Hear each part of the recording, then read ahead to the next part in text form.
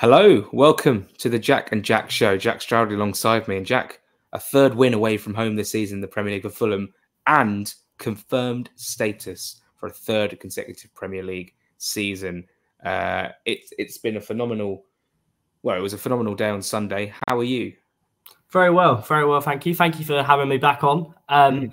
And yeah, a, a, a, very enjoyable Sunday. Um, West Ham isn't a ground that we normally get too much joy at, mm. so it was quite nice to um, to not only win there, but to you know do the double over them in mm. quite convincing fashion as well. Yeah, it's our first double of the season, which seems bizarre because we've had such, such a good season, but obviously away from home we, we haven't been as good, and also um, we haven't beaten West Ham in the league since about 2001 or 2002 yeah. or something. So um, it was a long time coming, even at Upton Park, you know, a ground we, we, just couldn't get anything from. We would draw, we would lose, we, we couldn't win. And then London Stadium, that's our fourth time playing at the London Stadium, I think, where yeah. we lost 3 1, 3 1 last season, 1 0 in lockdown, thanks to Ademola Lookman's shocking penalty. And, uh, and then this one on Sunday, 2 0 win. Happy days. Andreas Pereira at the double. Before we get into it, let's just uh, have a word from our sponsors, Greene King Sports. We thank them again for their sponsorship this season. And uh, if you can't make it to a game, especially if you can't make it to Fulham Liverpool, which is on TV this weekend, head down to a Greene King pub and you'll be able to catch the action there. Um, bit of a weird weekend in the Premier League, given there's FA Cup action. Um, Walham Green play Manchester City, and Coventry, of course, play Manchester United. So um, there's a team in, I think, Tottenham Hotspur who miss out on a Premier League fixture this weekend. Um, but still plenty of games on the box. On Saturday, you've got the 7.30 kickoff, Wolverhampton Wanderers hosting Arsenal, who lost to Villa, of course, at the weekend. It's all getting a little bit tense at the top. Uh, down the bottom on Sunday, 1.30 kickoff, Everton at home to Nottingham Forest. A massive game. I mean, that is as big a game as you'll ever get. Uh, and a very big game as well at Craven Cottage, uh, the second part of Super Sunday. Fulham hosting Liverpool. We've already hosted them once this season in the Carabao Cup semi final. Uh, we've been there twice to Anfield and lost 2 1 and 4 3. So maybe this time, after a very morale boosting win, uh, we might, Jack, beat Liverpool. Let's let's we'll come on to Liverpool in a bit. Let's start with West Ham. Um, it was pretty tricky getting into the ground. One very long queue. I think the turnstiles were playing up a little bit, which was frustrating. We got in about two or three minutes into the game, and then Andreas Pereira pops up, Mavropanos with the error, and Pereira doing what he did last season and just sticking one in their goal hole. Um, uh, you know, after five minutes last season and ten minutes this season. Great start for Fulham, and well, actually, we, we rode a bit of a storm early on as well with Antonio. Yeah, um, yeah, as you mentioned, rode a bit of a storm. Antonio probably should have scored. Um, mm. Chance kind of called, comes out to him after Leno parries from Coufal. Um, and then, yeah, ball over the top from Iwobi. I think he's looking for Muniz, and Mavropanos gets himself in a little bit of a muddle, doesn't know whether to clear it or bring it down. In the end, he does neither. Um, mm-hmm. Quite fitting, actually, Mavropanos being a player that we were linked with in the summer. Um, yes you know, and we chose to go for Calvin Bassey instead, who had a fantastic game. Yeah. Um, but Andreas Pereira, the ball comes down to him, and he's still got a bit to do, to be fair, to get round Fabianski, and then it's a it's a finish right into the top, into the kind of top of the net. Um, mm. And yeah, fantastic start for Fulham, very similar to um, obviously this time last season as well. Um, not so much this time, but last season at the at the London Stadium where Fulham started the game brightly and managed to nick a goal from Andreas Pereira. Um, but a completely different outcome in terms of performance. I thought Fulham were fantastic on Sunday. Um, you know, partially down to maybe West Ham being a little bit leggy from Thursday night, but I'm not going to give them that. I think Fulham were really good as well. Mm-hmm. And, mm-hmm. you know, 2 0 uh, on another day could have easily been three or four. Honestly, yeah, it could have been. We had loads of good chances. Um, Muniz with a header that actually was much closer than I thought at, at the time. It was during a, a minute's applause, and um, which is kind of a weird time to score. Like it, it would have been weird if we'd have scored. It almost would have been disrespectful if we'd have scored. We'll, we'll come on to uh, the George Earthy incident a little bit later. I want your take on that as well. Um, but but Muniz almost scoring, and then he almost scored a back heel. You know, it feels like we can't go for a game without seeing Muniz try something extravagant, whether he pulls it off or not. He's still much loved by the fans. Um, Pereira, uh, he enjoyed himself. There was some really good match of the day two analysis on him. Uh, some Brazilian flicks and tricks he was he was pulling out, and you know what?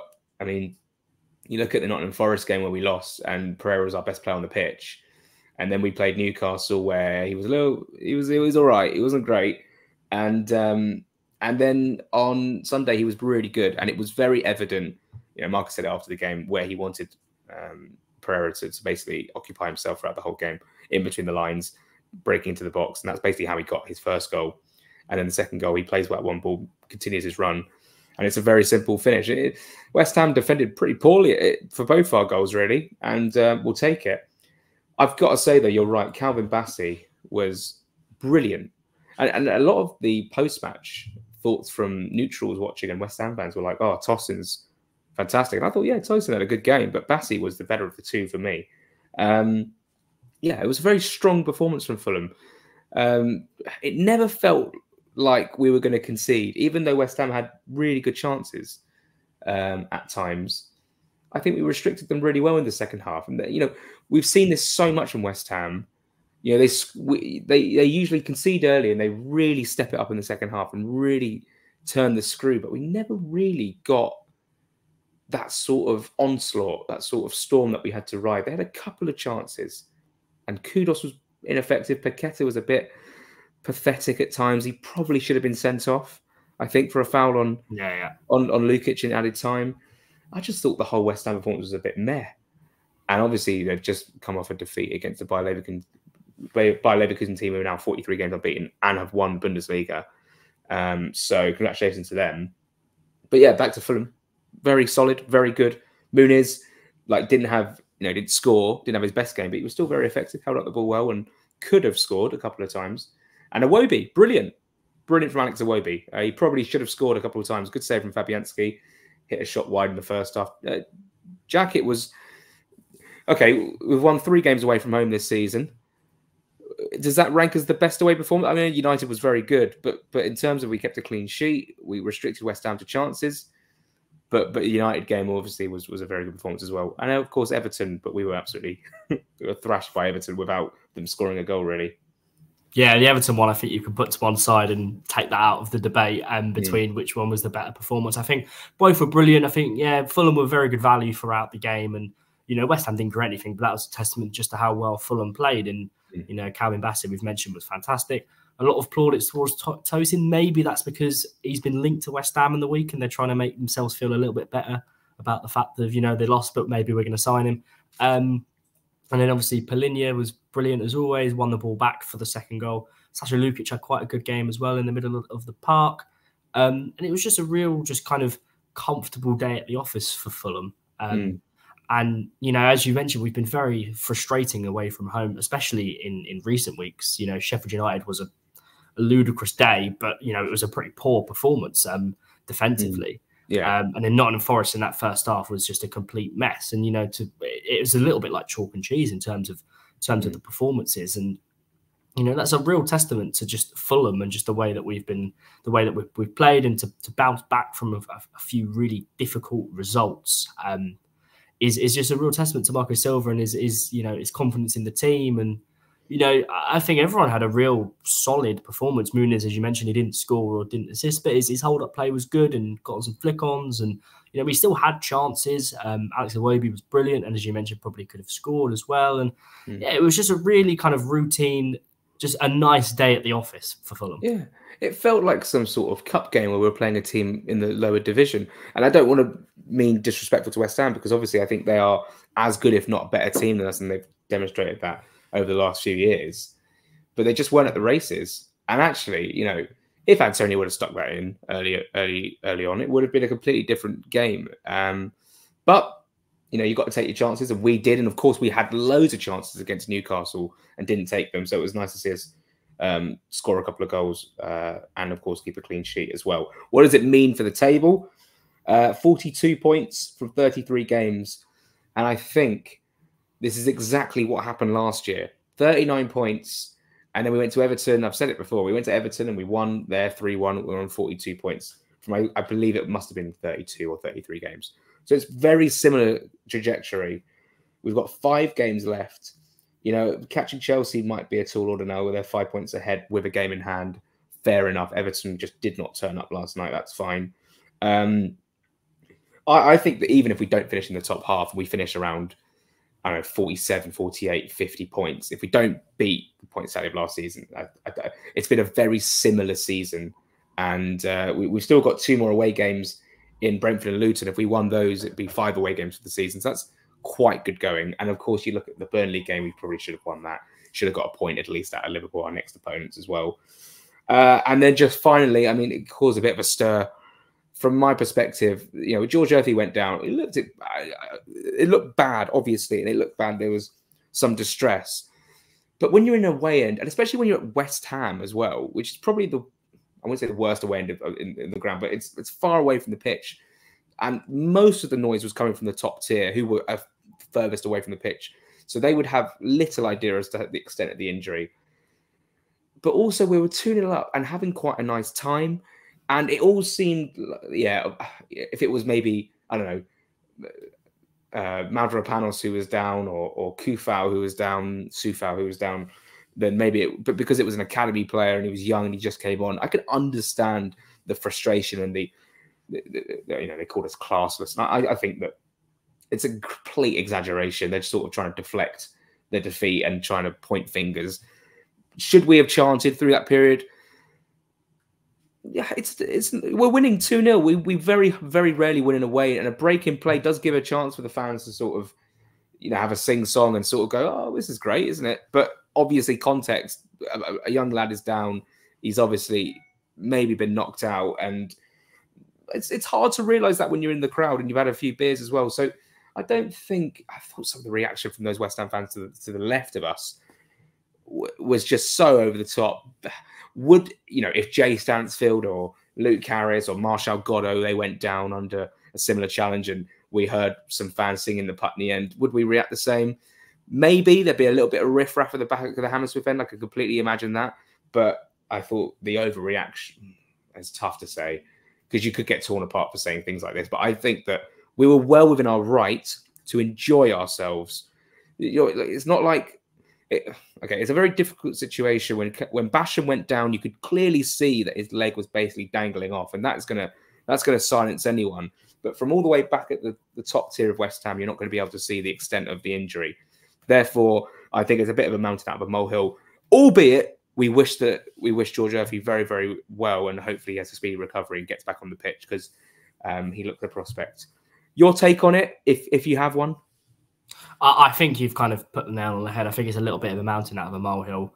You know, when you're at West Ham, it's you, you you've kind of tried to be very um, on on the fence a little bit. It is a terrible mm. away end, and you are you are miles away from it. You don't really understand what's going on, and you don't know the the severity of certain situations. And Fulham fans aren't like that. They're not a club who we're not a club who you know kind of we no one saw him go down and say right we're going to chant and take the piss. Like that's just not yeah, exactly. Like, it wasn't that. that's just not that's just that's just not that's just not in Fulham. Oh, and yeah, we were good good having a, an enjoyable time out and you know we're 2 up and it's you want to get behind the team Obviously, i wasn't there so i don't really know the full extent of of what happened um but you know it's I, I think uh, it's a bit of a bit of an, an over exaggeration in terms of calling Fulham fans classless and, and, all of this sort of sort of stuff. Because I mean, again, I wasn't there, but obviously when he went off, everyone applauded him. And if if, if Fulham fans were classless and and didn't care and wanted to take the mick, they wouldn't have done that. They'd have just they'd have carried on and maybe would have like ripped into him a little bit for being down injured. But Fulham fans didn't do that, and I just think that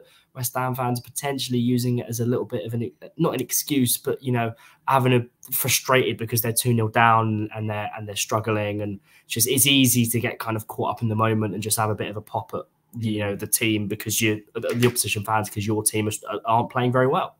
Yeah, I, I completely agree. Um, and we, we had the minutes applause earlier in the game. We all clapped that. We then clapped him when he came off. It's not like we were going, uh, we were singing songs about your injured player. It was, we were just singing, I can't remember what it was. It was just, you know, take me home Alfred or something like that. Was, we were just having a good time. Um, and uh, most of the, well, not most, some of the West Ham fans already left the ground by then. So, you know, you stay and support your team or you want to get back to Stratford early to, to beat the crowds, you know, that's fine.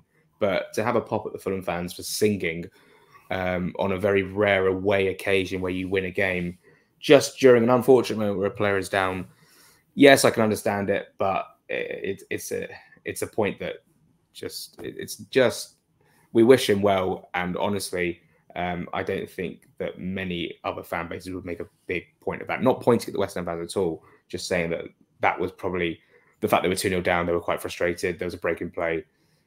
might have pointed to the fact that they over they reacted in that way. Let's move on to Liverpool. Okay. Liverpool lost to the pride of South London, the famous Palace boys, on Sunday at Anfield, whilst we were playing at London Stadium. And I thought, crikey, that's that's some result for Palace. And um, we now play Liverpool, and I think they're vulnerable because they lost 3 0 to Atalanta, 1 0 to Palace. They've got to go to Bergamo tomorrow to play Atalanta in their second leg, and the tie looks done. It could be turned around. You never know. We've seen it before from Liverpool. So I think we'll have them. I think we could have them at the sausage at Craven Cottage. How do you see it going? I am the same. I honestly, I'm obviously, I'm, I'm actually quite confident. Conor Bradley is also out for the game as well. He's mm. um, he's out for three weeks. New, yeah, a new, a new injury for them. Um, I just think we've had so much, so many, so it's so close against Liverpool. You know, this season, and mm. I just think, and we should last season we got a point against them. I just, mm. I, I, feel like it's it's brewing, and we've got a bit of confidence about us, and I, and I just, I can see it kind of derailing a little bit for Liverpool between now and the end of the season, and you know, I won't make my thoughts known on Jurgen Klopp, but I wouldn't be too upset if if their season was to derail um, and if Fulham were to play a bit of a hand in that. So yeah, I um, yeah, I'm I actually think that Fulham are going to get a result out of this one. Yeah, no, it'd be it'd be great, and I think Brentford is safe now. I was going to say if the four out of our last five fixtures have we could have a say in the top and bottom, but I think it's now three out of five, which is fine. Um, Palace obviously on the beach, and Brentford probably secured survival. Um, against Sheffield United. Um, so Luton, and we have a, a say at the top with, with Liverpool and, and, Manchester City. Uh, I think we'll get points at home out of at least one of these games. Um, and I think it's more likely it'll be Liverpool because they are quite fragile right now. And, and Man City, you know, whatever happens tomorrow night against Real Madrid, they might finally hit their stride. And a lot of people saying it's done, it's over. It's not over. Liverpool beat us and you know City drop points on an not playing. They're playing the FA Cup, so actually City can make up that that point, uh, those points on City, put pressure back on them, and they resume their league campaign uh, next week, I suppose. Um, and obviously Arsenal play Wolves, so they're playing Saturday night. So Liverpool will have a task on their hands. However, you know we're in, we're in good spirits right now. We've hit 42 points. We we've just won away from home with a clean sheet. I think Andreas Pereira, for me, is the first name on the team sheet after uh, him and Calvin Bassey. So, what would you change, if anything, from that starting 11? We've had a whole week to prepare. Willian obviously started, um, as did Iwobi and Pereira and Muniz and you know Palhinha and, and Sasha Lukic. So, what would you change, if anything? Because it, it doesn't seem like right now there needs to be an, an, you know, an abundance of changes for this game. Honestly, I probably wouldn't change any of it if I'm if I'm mm. being perfectly honest with you. I think I'd go unchanged. If it's if it's not broke, don't fix it kind of thing. And you know, we we played so well on on Sunday. Um, you know, so I think I would. You'd Leno and then the back four of Castagna and Tosin, Bassey and, and Robinson. Palhinha and Lukic, I think you could maybe make an argument for someone else instead of Sasha Lukic, but I think he had a good game and Lukic seems to perform better against the sides up the top of the table um, mm. the, the teams where maybe Fulham won't see as much of the ball. Yeah. Um, where he can, when they do get the ball, he can be really good in transition and he's quite strong in the tackle as well next to Palhinha. Pereira obviously starts. I think Willian plays as well. So, so will, oh my God, who played on the right? I've got, oh, Iwobi. Iwobi. Sorry, my mind went completely blank there. Iwobi, um, he'll start. And then obviously Rodrigo Muniz is going to play as well. So, uh, yeah, I, I don't really see any reason to to change it. To be perfectly honest with you. Yeah, I think that's a good thing that we don't have to change it. You know, you could make an argument for Tom Cairney to come back in, but I, ju- I just think that the game suits Lukic. Um, I think expanded pitches also help Lukic. Um, we saw it at Old Trafford, we saw it at West Ham. These, are big pitches, and he he got about well in both those games. But but at home, I think Lukic definitely starts. I think um, I think yeah, no changes whatsoever unless it's forced, unless there's an injury in training or or, or something of that ilk. But hopefully not. Um, and then look, this is this is big. This is big. If if we really put Liverpool under pressure and um, and get some points out of them and cause them some problems, and we could effectively end their season on Sunday if we won. You know, that's two defeats in a row in the Premier League. Yeah, um, so that would be huge, and I think we would love that. I think there's a lot of people who don't want Klopp to have his farewell ending to his um, to his reign Obviously, they can only win. They've won the League Cup. They can now still win the Premier League and the Europa League, but they're very much out of that conversation when it comes to the Europa League because they're 3 0 down against Atalanta. We, Jack, we could end their season on Sunday, is the point I was trying to make, the headline. And I hope we do. nah, What's the score prediction I, then? I, uh, I, I'm going to go with draw. I think one all. I think right. I, I think that Fulham will take the lead um, in the first half. Um, they'll come back into it in the second half, equalise maybe with about 20 minutes to go, push for the second goal, but Fulham will hold firm. Leno will make a couple of really good stops, and I think it will be a point that Fulham deserve. Mm, that's quite specific. I will raise you with more with more detail, more niche, more niche. I think that Fulham are going to draw as well. I think it might be another 2 2. I would also back 1 1. But the detail I'm really seeing here is I think Liverpool are going to get a red card in this game. There's actually been no games this season where Fulham have played a team and they've got a red card against us. No, it hasn't no, happened. good point, yeah. Um, I realised that when we played Newcastle. I think Liverpool are going to get a red card in this game. I can't specify who. Um, however, I think it's going to be a it's going to be one of those very similar games to the opening game of the last season. I think Money Muniz is going to score. I think they'll equalise. I think someone will take the lead for Fulham in the second half. It might be Iwobi. It might be Willian. I'm not sure. And then they'll equalise again, maybe from the penalty spot. Maybe uh, a very similar sort of goal to what they scored last season, like a little bit of a mix up at the back, and they and they score. But um, I think we'll take we'll take a point, and Liverpool will feel very frustrated because they you know they haven't capitalised on on City not playing. And yeah, I feel very confident that we can get something from the game, and, and if we could win, even better, even better. Um, there was one more thing. Yes, there was a couple of things I wanted to ask you before we go. Um, first of all, we've survived. That's that. It's all over. Um, your thoughts on that? Fantastic, fantastic news. I mean, it's you know, after the summer that we had, there were certainly people who were a little bit concerned. Not necessarily we were going to go down, but were we going to be kind of in that conversation? And we soon kind of realised that that wasn't going to be the case because our home form, particularly, has been so strong this season. We've really made the cottage a fortress, which is something which might play into our hand on Sunday.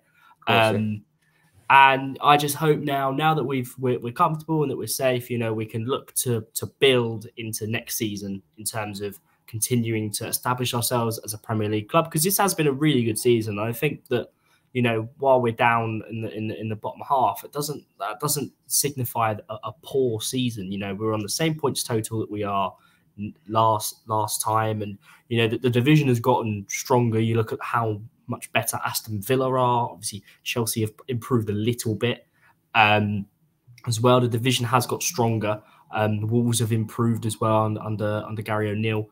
Mm. Um, so it's a good season. Obviously, semi final of the Carabao Cup as well. You know, it's been a it's been a it's been a very very good year. We've we're slowly starting to bring the age of the squad down in terms of if you look at the players in terms of our bench now. You know, in terms of our rotation options, we've got some really good players. Um, it's it's real. It's positive. It's positive times at Fulham. It's really positive times. It's honestly, it's great. It's great, and it was such a nice sort of feeling to know that you've survived on that final, um, on that on that game against um, West Ham. It was a nice way to do it as well. Just a nice London derby. Um, yeah, I, so to survive again is great at this stage of the season. Um, Marcus Silva has transformed. He's eradicated the yo-yo tag that comes with us, that came with us when we came up. Um, we survived one season. They went, well, second season syndrome. You never know. Someone told me, oh yeah, no, Fulham won't score enough goals, and they were right up until one point, and uh, and then we started bagging a load of goals uh, against Forest and, and, West Ham. That was really when I started to be like, okay, we're a, we're a proper team now, and uh, we still we still are a proper team. We're very good, and we can only we could get worse, but we can only really get better at this point. And hopefully, the board and the manager and everyone, the staff of the club, are thinking long term. They're thinking about contract renewals. They're thinking about summer signings, and that was my final question for you, Jack you know, I've I, we spoke. I've spoken with Joe about what we want in the summer, but what do you want in the summer for Fulham? Positions, maybe even players. It's quite hard because this very very likable squad. You don't want to sort of replace individual players, but if we could add to it, and maybe I don't know what's because you know a couple of weeks ago we were saying oh we could sell Andreas Pereira, but now I'm kind of like actually he's quite a good player, is our Andreas Pereira, and also it's worth noting, even though sometimes on the ball he can be a bit wasteful his off the ball pressing is always very, very impressive. We should never forget that. Yeah. Uh, in terms of the summer, um, it's very dependent again on kind of departures and what happens because obviously Tosin's out of contract. I'm starting to think that he's going to go.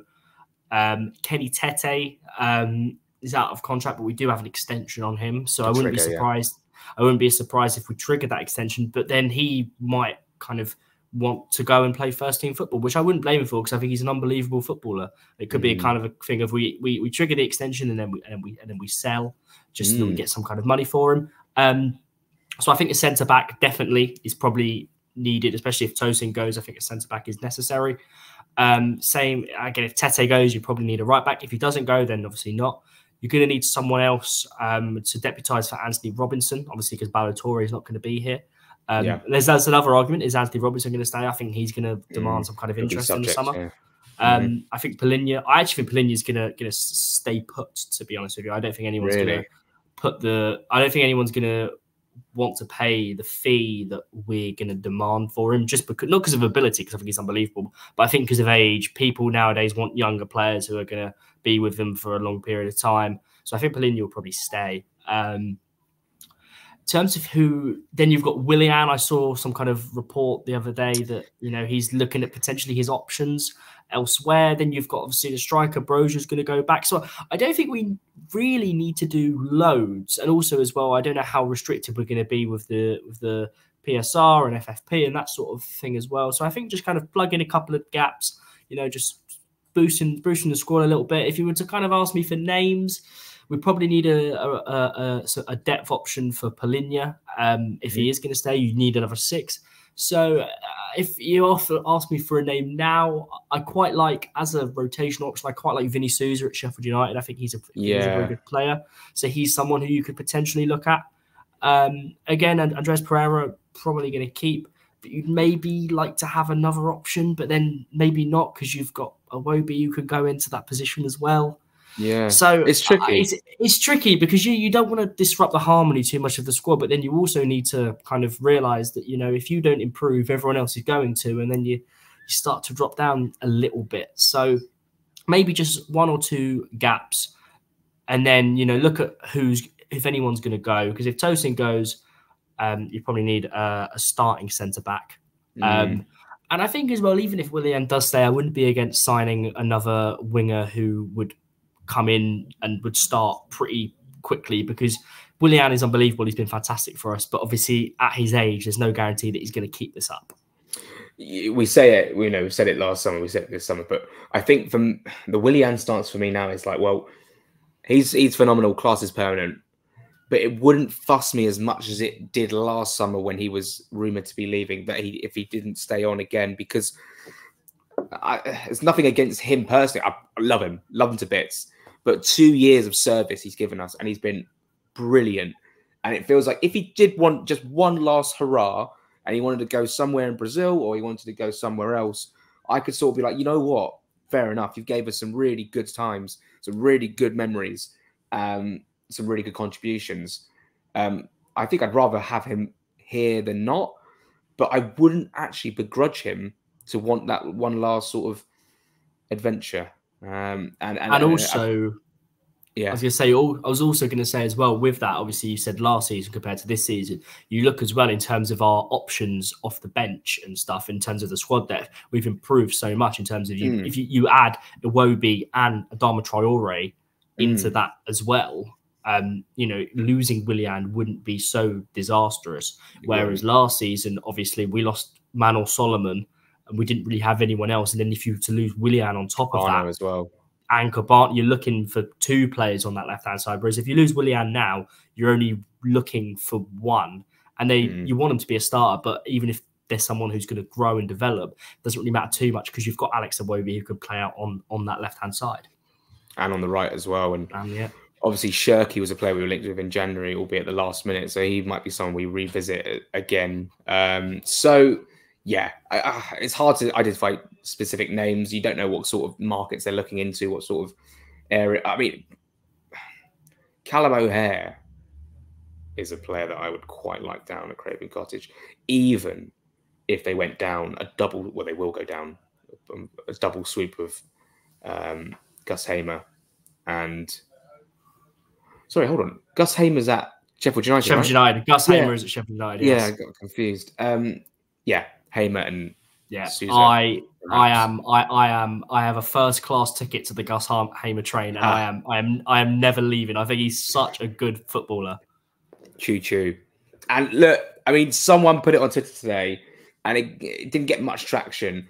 But I didn't actually watch his analysis, or his punditry. Dele Alli, you know, someone was like, "Oh, I reckon Marco Silva gets so much out of Dele Alli," and I'm thinking, yeah, maybe.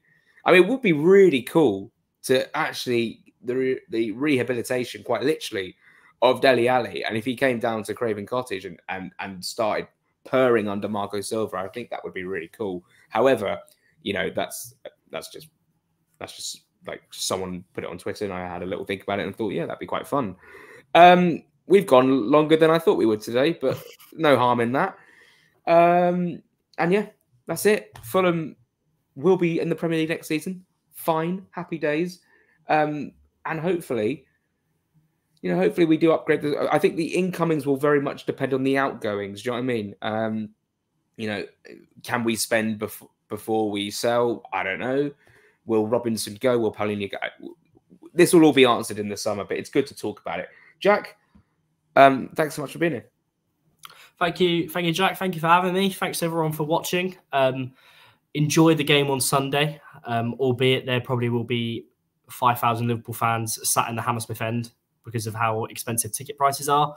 But that is that is another story. Um, enjoy the game, um, and yeah, I think that we're gonna get something out of it.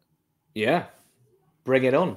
Um, yeah, we might see the season ticket prices come out very soon. So actually, that will be worth looking for. Shout out to shout out to Martin, who I met in the concourse at West Ham, and he spilt his tea quite literally everywhere, and it was one of the most funniest things I've ever seen. But it was really fun to meet him. He was a lovely guy, and of course, shout out to um, I mentioned him before, but I'm going to give him another shout out to uh, Stuart Roberts, Peter Roberts, James Roberts, Lucas Roberts, and Max as well I shan't forget Max. Thank you so much for your support. I saw you before the Newcastle game and you kept going, oh, shout out Max on the Jack and Joe show. Well, here we are. Max, hello. Thank you for watching. Thank you for being part of the community. Um, I'll tell you what, the, the support on the channel this season has been really good and we're growing day by day. We're almost at 6.2k subs, which is very exciting. Um, Jack, a pleasure as always. Uh, thank you, thank you very much, everyone. Thank you for watching, and uh, yeah, come on Fulham, as Jack always says. Yeah, literally, honestly, come on Fulham um, is is something I say every week. Uh, obviously, because we like Fulham, don't we? Um, right, right. It's time to it's time to make dinner. I think. Um, thanks so much for watching. Enjoy the Champions League. Enjoy uh, the Liverpool game. Hopefully, see you uh, some of you in the concourse beforehand, and uh, hopefully this time the tea won't be flying up in the air.